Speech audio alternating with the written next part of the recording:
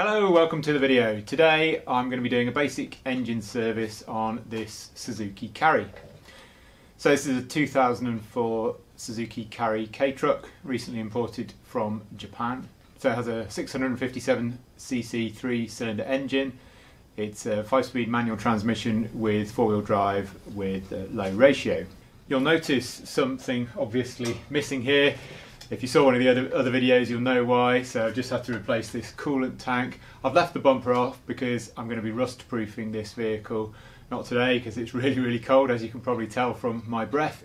But today is the basic engine service, which means engine oil and oil filter, air filter and spark plugs. I've already warmed it up just a little bit to help the oil flow out and of course it's raised up as you can see. I'm not sure whether you could do all of this without raising it up. I think you probably could, but as I say, in my case it's, it's raised up anyway, so I guess we won't get to find that out. Let's get started. Right, let's start by locating our engine. It's under here. Two clips on this side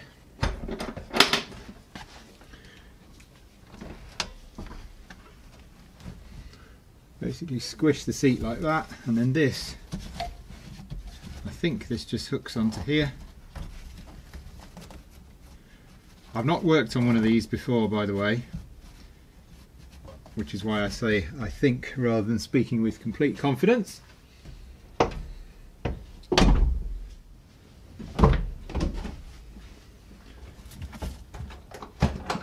Just a single clip on this side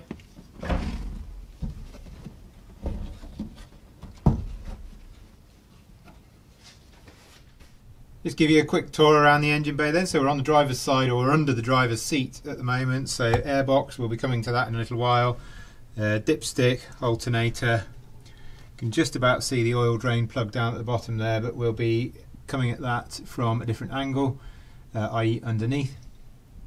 You may notice the interior of this vehicle isn't particularly clean yet. It's only just been imported and I like to get the mechanical things sorted out first and then do the cleaning afterwards. I'll just show you the other side now and here we are under the passenger seat. So oil fill just there spark plugs behind there. We'll be coming to those in a bit as well.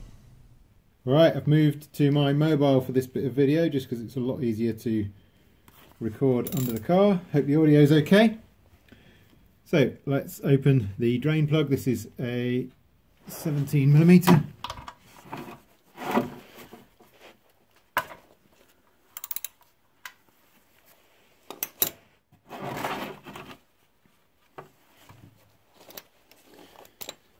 because it's recessed it's quite hard to do the old quick undo and withdraw. So I think we might just let it fall and go fishing afterwards. Oh no, caught it in the socket, jolly good.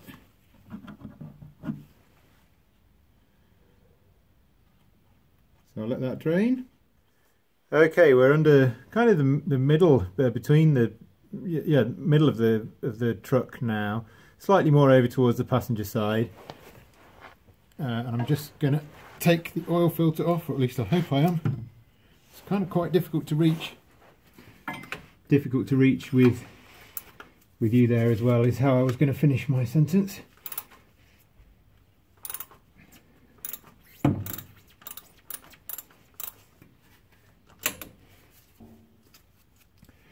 We appear to have a Toyota filter on here for reasons best known to the person who fitted it, but not to me.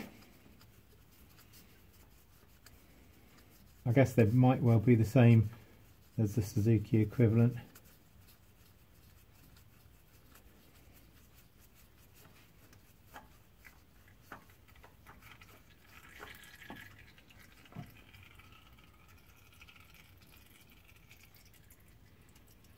Oil doesn't look too bad, but because the vehicle's just arrived with me, you, you kind of never know, so I always like to like to change it.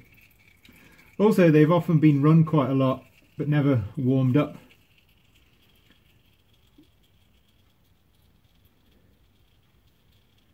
so the oil hasn't necessarily always been looked after that well. Right, whilst the oil's draining, let's move on to the air filter.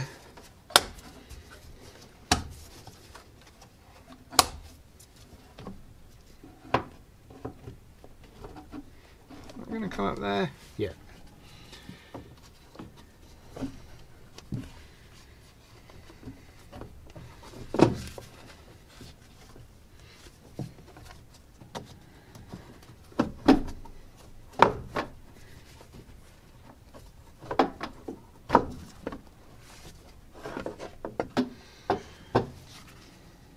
Not too bad. As with the other things, I've got a fresh one, so I'm going to change it.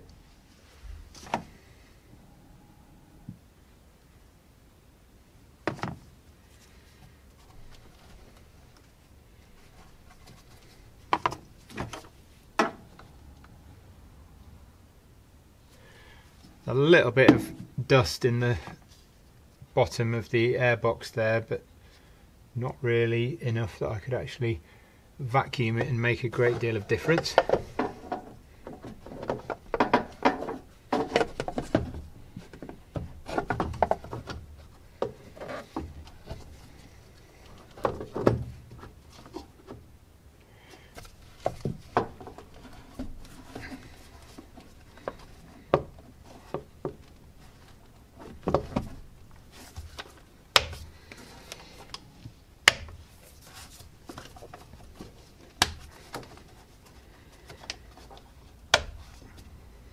Okay, that's the air filter done.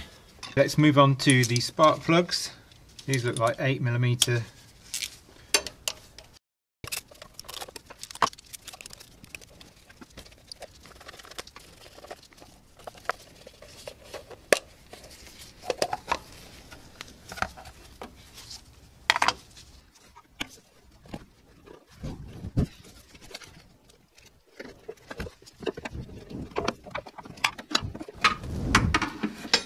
moving this jacking rod out of the way.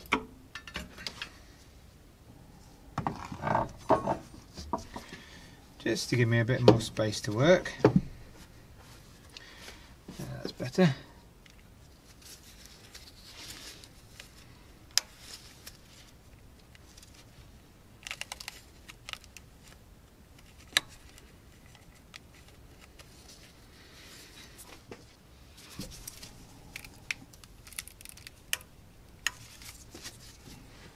Need a little levering device to move them off the socket while I'm pressing the clip down.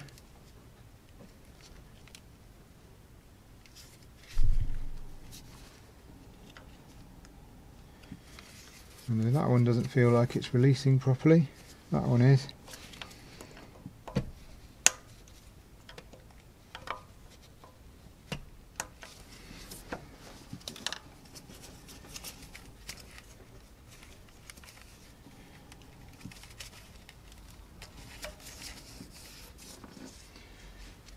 Okay, I think I'll do that middle one once I've taken the other two off because I think I'm making things harder for myself than they need to be. Over to the familiar territory of the 10mm socket.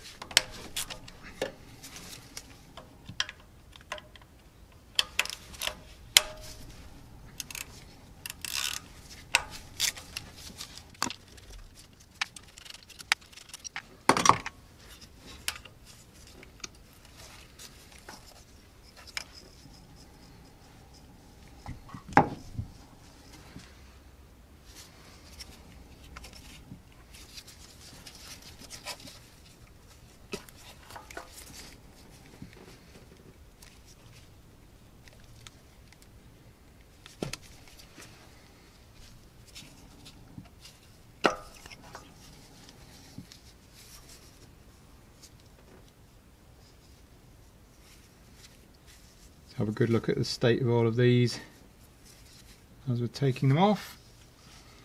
They all look good. As you'd expect them to, although this vehicle is 17 years old, it's only done about 55,000 kilometres, which is roughly 34,000 miles.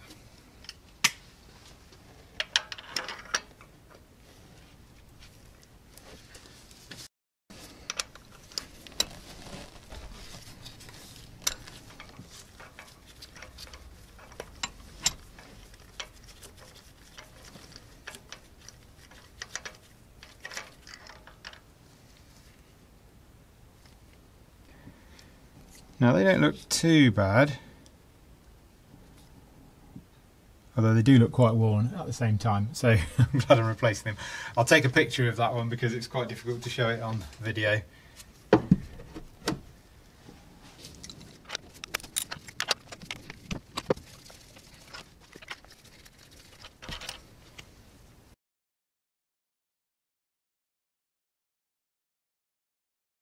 Okay, so straight back in with some fresh plugs. Put a little bit of oil on the threads and the gap is between 0.8 and 0.9 which is uh, uncharacteristically imprecise. But never mind I've set the gap to, uh, to between those two numbers. Uh, so do them up by hand and hand tight first of all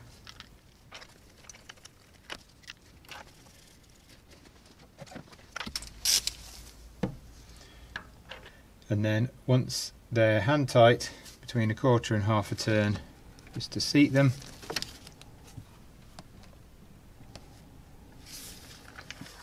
There we go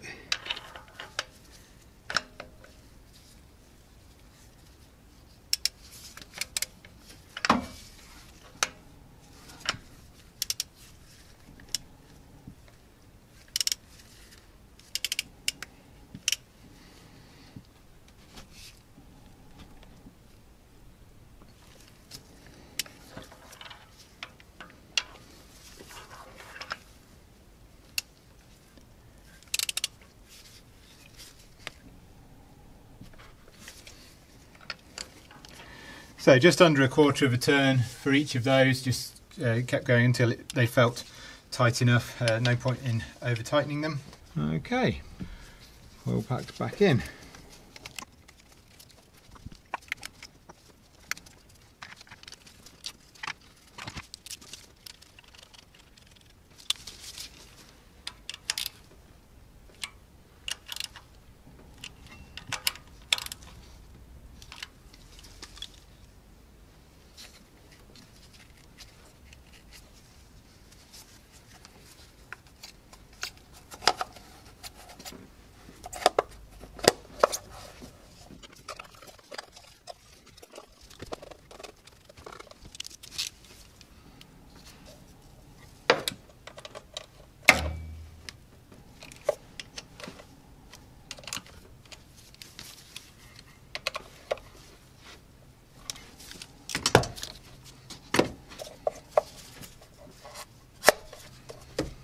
Let's finish off the oil change.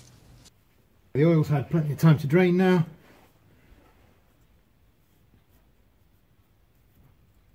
It's pretty much stopped dripping.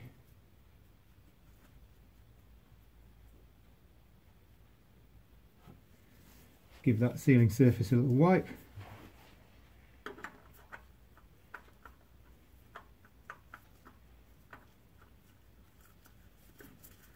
Install the new filter. I've put a little bit of oil around the seal on this filter.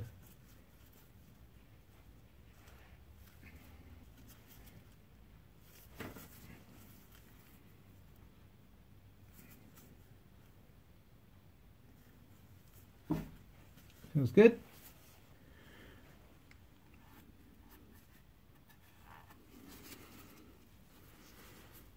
A sump plug with a new washer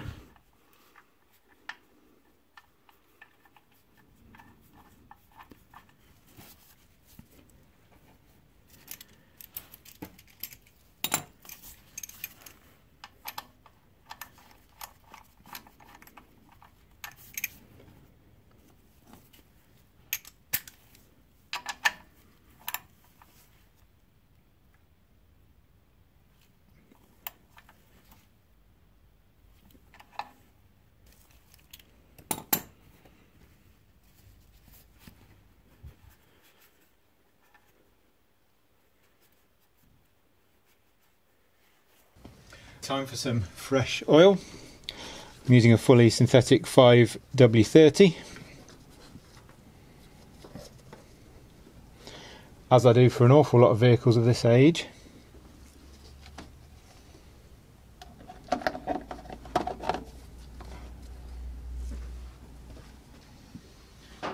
Fill volume is 3 litres with a filter change.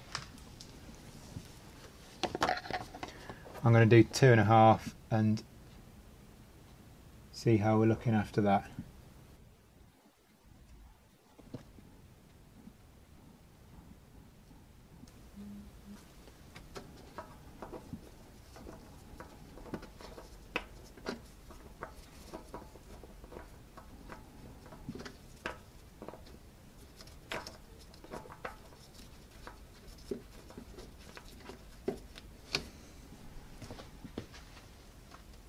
Okay, let's see how we're looking on the dipstick.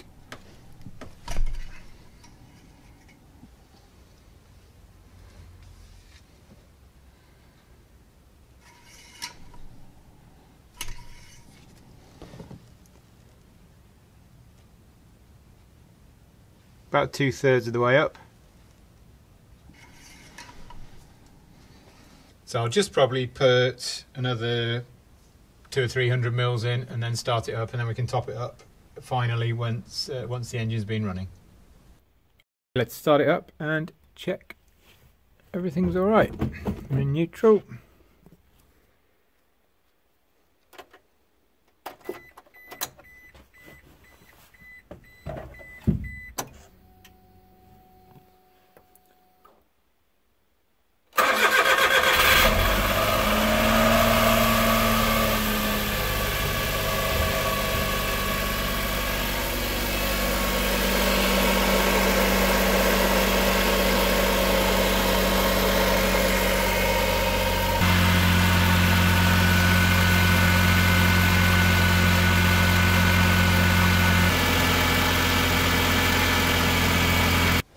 Okay, so I've got it nice and warm. There's no leaks. I'm now just going to top up the oil so it's at the full mark on the dipstick. I'm not going to show you that because, well, there's only so much pouring oil into an engine and checking a dipstick that can be interesting on a, on a video. So I'm going to uh, top that up and then we'll be all done. Thanks very much for watching. If you like this type of thing, please consider giving it a thumbs up and subscribing to the channel if you haven't already. There's going to be lots more videos about this and other Japanese import vehicles, at least working on them on this channel. For, for test drives and stuff like that, I'll be putting the videos over on my other channel, Andrew's Japanese Cars. I'll put links in the description to that. That's it for now then. Good to see you. Thanks very much and I'll look forward to seeing you again for the next one. Bye for now.